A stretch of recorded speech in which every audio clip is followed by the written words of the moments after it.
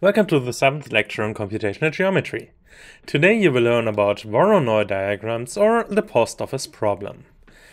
Let's start with the definition of the problem. You're living in some huge town and there are several post offices and you urgently have to bring your parcel to a post office. So how do you decide to which post office to get? For example, you are here. Of course, you want to pick the closest. So if you're here, then you want to go to this post office. Well, this is easy if you're at home, then you have to only do it once, but maybe you are somewhere else, like here. And now you again quickly want to find what's the closest post office that you have to go to. And to decide that, what we can do is we can pre-process the whole map and we can find out for every point beforehand what is the closest post office. So we can divide the map into regions, where every region knows what is the closest post office, and if I am in this region, where do I have to go? Then you only have to figure out in which region you are. Let's first have a look at the very simple version of this problem where we only have two post offices. How do the regions look like now? In this case, we would take the bisection of these two points. And now if you're on the right side of this, then this is the closer post office, and if you're on the left side of this, then this is the closer.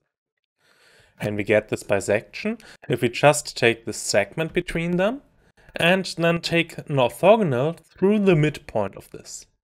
So if we have two points P and Q, then we can define the bisection of P and Q as the set of all points in the plane where the distance to P is the same as the distance to Q. So this is exactly the border between the region of these two points. If you're on this red line, then we, it doesn't matter if we go to P or Q, we have the same distance. If you're in the green, then we want to go to Q. If you're in the blue, we want to go to P.